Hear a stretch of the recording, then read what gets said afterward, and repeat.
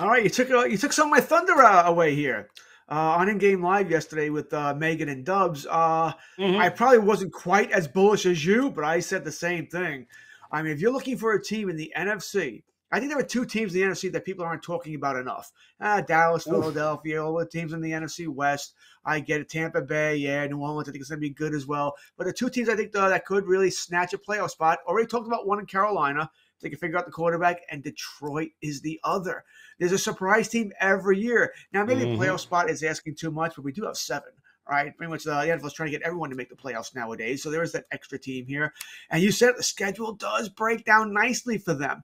By the way, if you if you want to know how the NFL or the schedule make us feel about Detroit, do you realize every single one of their games, except for one, starts at 1 p.m. Mm-hmm. Eastern? I don't know if I've ever seen that, by the way. Yep. Every yes. they can set their clocks. They know exactly what they're doing. And by the way, the one game that doesn't start at one o'clock Eastern, you want to guess which one that is? That'd be the Thanksgiving mm-hmm. game. It starts at twelve thirty. Of course. All right, so every game is the early slot for them, uh, which like I said, wicked. They have no prime time games, no four o'clock games. You think they don't have to travel out west at all here.